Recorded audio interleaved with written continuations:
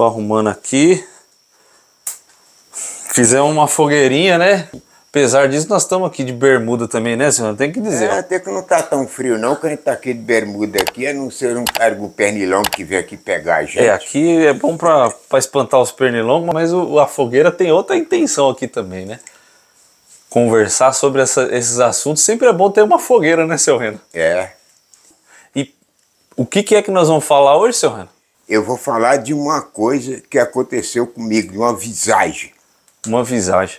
Um, um trem do outro mundo, a visagem, é a visagem mesmo que a gente fala, a gente que morreu e vem, vem atentar a gente na Terra. Existia um córrego, né? É, cha- E esse chama- córrego chamado chamado Córrego do U. Córrego do U. É. No córrego do U, esse córrego tinha um dono. E esse dono não era gente, não, né? Não, não era gente desse mundo. Era do uma visagem, né? Era. O nome desse cara que era dono desse córrego, Arcanjo. Arcanjo. Ele ainda tinha a casinha do lado de cima, que era onde é que ele ficava. Gente abandonado. Ficava nessa, nessa casinha. Então o córrego deu uma enchente braba lá e levou ele. Ele morreu nesse córrego. Morreu, não quis subir, não. Ficou lá.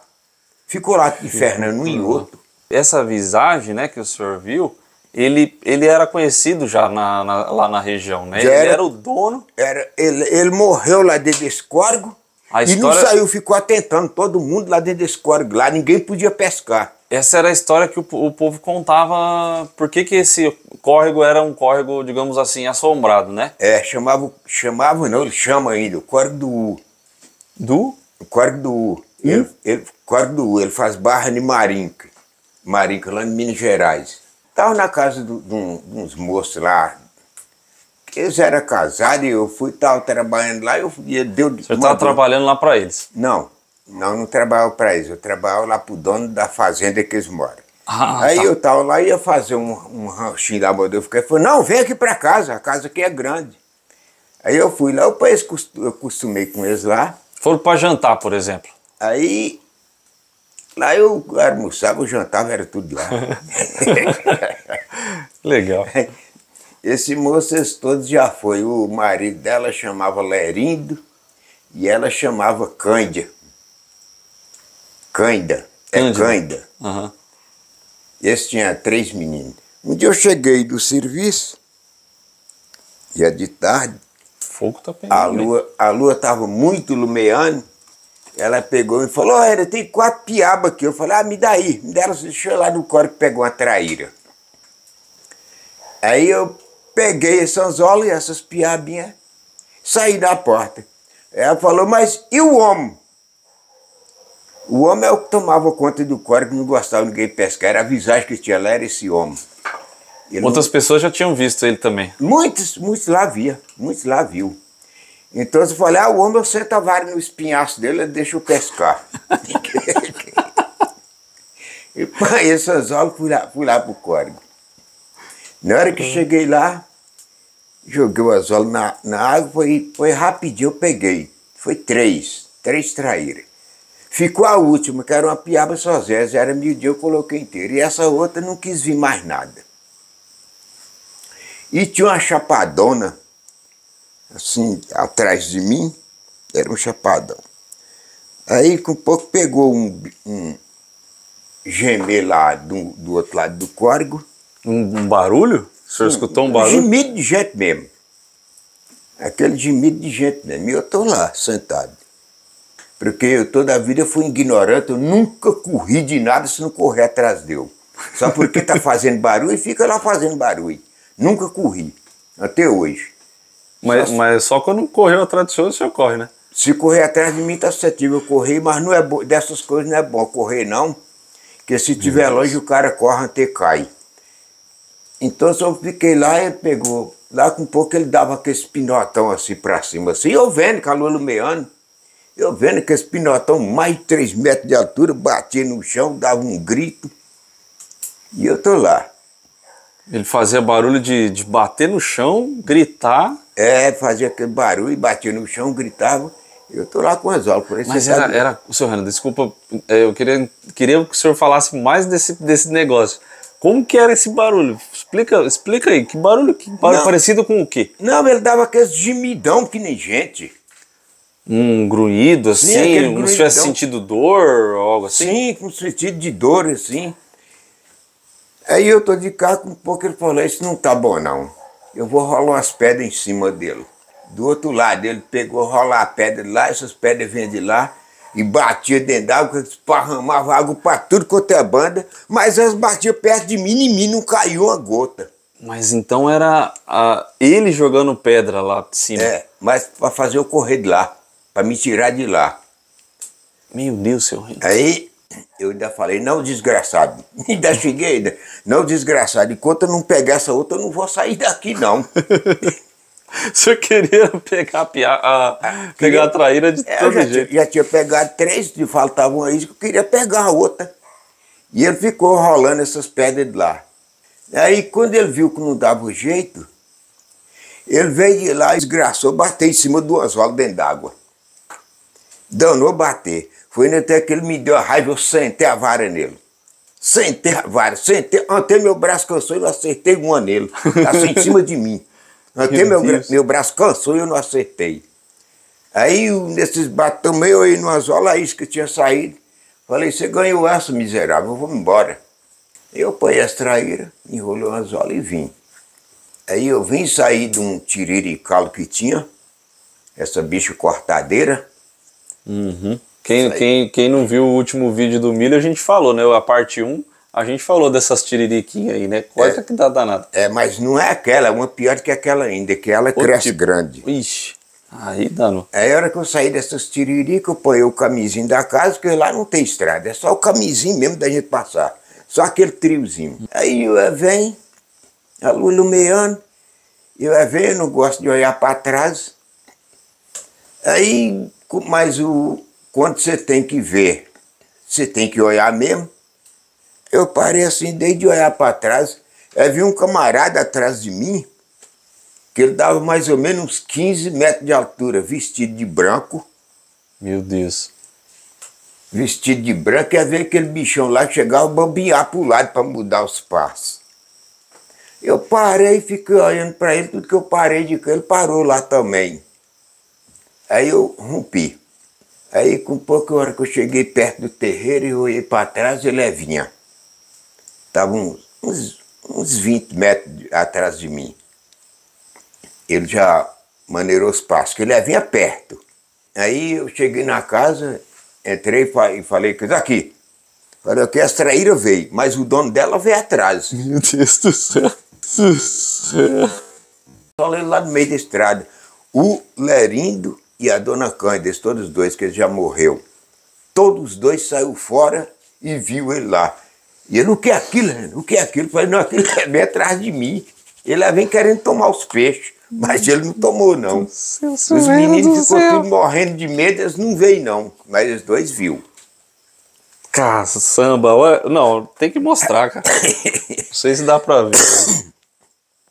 Tá tudo arrepiado, cara. Pelo amor de Deus, seu Renan. Então, eles dois viu. E os meninos, os meninos ficou tão assombrados, só deles falar dele lá, que eles, te, eles teve que dividir a cama com eles três. E eu fiquei de cá. No outro dia eu passei lá para ir para o trabalho. Quando foi de tarde, eu voltei e falei, vou ver se caiu, se tem alguma pedra atravessada nesse córrego aqui, que, que esse safado jogou muita pedra aqui. Aí eu passei, olhei, não vi nada, com um pouco outra tornou, bateu lá, tei! O sol estava querendo entrar. Bateu, parei assim, olhei, olhei pra cima, falei, a pedra caiu, só não vi quem jogou. O- de- era, isso aí não era de noite, então. Não, era de tardinha, De tardinha, o senhor foi lá e veio outra pedra. Veio outra pedra, mas eu não fui pescar não, estava vindo do, do trabalho, tinha que passar lá nesse lugar. Aí eu parei e falei assim, eu tô vendo, a pedra bateu aqui, só não vi quem jogou. Me mostra quem jogou. Ele também não quis mostrar, eu peguei e fui embora. Meu Deus do céu, senhor René, essa história realmente é assustadora. Ela é, ela é assustadora. Isso aí não foi ninguém, isso não aconteceu com ninguém, nem ninguém que me falou, não. Foi, aconteceu foi comigo.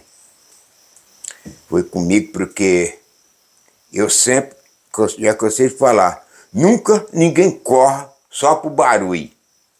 Nunca ninguém corre. Porque se ele corresse a distância for longe, ele estafa na estrada. Vou botar um pouquinho mais para dentro aqui para fumar sair um pouco mais para lá. Tá e a ilusão era demais. Foi nessa mesma fazenda. Corgo do U. Eu conheço isso tudo lá. Essa dona Cândida mesmo tinha ela, mas uma Isabela lá, elas deu de pescar, mas elas pescavam de dia, já com medo dele. Na hora que chegou lá. Só pescava de dia. É. Mas traíra é bom de pegar quando? É de noite ou de é dia? É à noite. É à noite, né? É à noite. Mas elas vêm de dia também. também. É, estava pescando essa dona Isabela, a dona Cândida que falava. Essa dona Isabela pegou a traíra e tá com essa traíra no anzol de pendurar e tá. Mas o que é isso, dona Cândida? O que, que é isso, dona Cândida? Ela joga para trás. Ela, os braços não tá subindo, não. Os braços não tá subindo. Os braços dela ficou duro com a traíra aí, ó e não subiu. Aí que ela voltou, na hora que ela voltou, ela chegou, pegou o anzol, tomou dela, jogou essa tarefa para trás, os braços dela desceu. Aí não estava duro mais. Aí com pouco ela deu de sair dentro d'água, as mulheres primeiro vestiam esses roupona comprida, ele trançou na roupa dela, ela puxava para frente, ele puxava para trás. A dona Cândida, ela era uma mulher que ela sabia muito rezar, ela rezou e foi lá e pegou ela pro braço e trouxe ela para fora. Nesse mesmo córrego, esse mesmo cara. Ela era rezadeira, Renato? Ela era. Nossa, ela meio como que ela quisesse jogar ela dentro, dentro da água, né? Quisesse arrastar ela para dentro d'água. E aí a dona Cândida contava esse caos. Então, ó, essa, essa, é a, essa é uma segunda história do mesmo rio, né? Do é, mesmo, do mesmo córrego, né? Do mesmo córrego. E aí, esse alguém dessa casa que o senhor, que o senhor frequentava, né, nessa época aí, alguém conheceu ele ou ele é de mais conheceu, antigo, vivo? Conheceu, conheceu, ele, vivo. vivo. Trabalhava, mas esse lerindo, que, que é o cara que eu estava na casa dele, ele fala, ei, Renan, esse arcanjo era um homem muito bom de serviço. Oi. Ninguém não pensava nunca o homem, o homem morrer, não ganhar salvação. Fica aí agoni, agonizando todo mundo, agoniando todo mundo que passa aí. Olha, gente, essa história que eu contei para vocês, isso é uma história verdadeira, que ela aconteceu, não foi com ninguém não, aconteceu comigo mesmo. Foi comigo mesmo. Eu cheguei a ver essas coisas, e os mais velhos do que eu viu mais do que eu ainda, que hoje ninguém não vê mais nada. Isso hoje não existe mais não. Será que ele, ele ganhou salvação, seu Renan, talvez? Quem sabe? Quem sabe, hoje não tem mais nada disso não. Antigamente um morria, via cá embaixo, pedir, pedir perdão um, pedir pagar uma conta. Hoje quem morre, se ele ficou devendo já era, se ele ficou magoado com o outro também já era, não vem mais. Mas de primeiro vinha. Mas é porque toda a vida eu fui nojento. Nunca corri de nada se não correr atrás de mim. Até hoje. É, isso aí, eu, o senhor chama disso aí, eu chamo de coragem, porque. Eu não sei, eu não sei eu, se. eu não sei se coisa. é coragem ou se é ignorância. Mas eu, se não correr atrás de mim, nós vamos a vida toda aí caminhando, mas eu não corro. É. Porque o meu pai sempre falava, nunca corre de susto. Porque o susto, ele faz a pessoa correr até morrer. Então você está fazendo barulho lá, passa nas suas, não corre. Ele fez um ensinamento muito bom para o senhor, senhor. É, aí ele ainda Ele também era assim? Não, meu pai, pai era. Meu pai era. Ele então ainda ele falava. direitinho, hoje, porque olha. Hoje vocês não vê nada, não. Mas no tempo de meu avô e dos meus pais, eles via. Olha, é a mesma coisa que o senhor acabou de dizer, né? Hoje a gente não vê e no tempo do senhor via. Então é. imagina como era antes do tempo deles. Pois né? é. Pessoal, se inscrevam no canal, deixe o like e a gente se vê na próxima. Até mais. Alô,